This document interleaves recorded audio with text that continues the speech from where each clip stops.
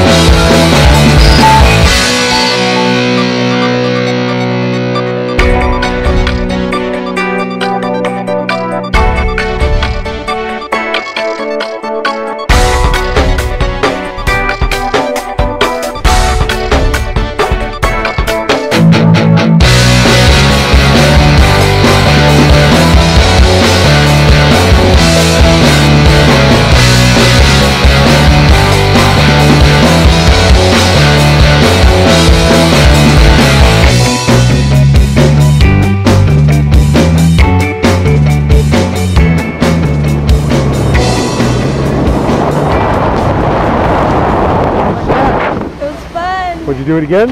Yes. Well, high five. Thanks for jumping with me. Yeah.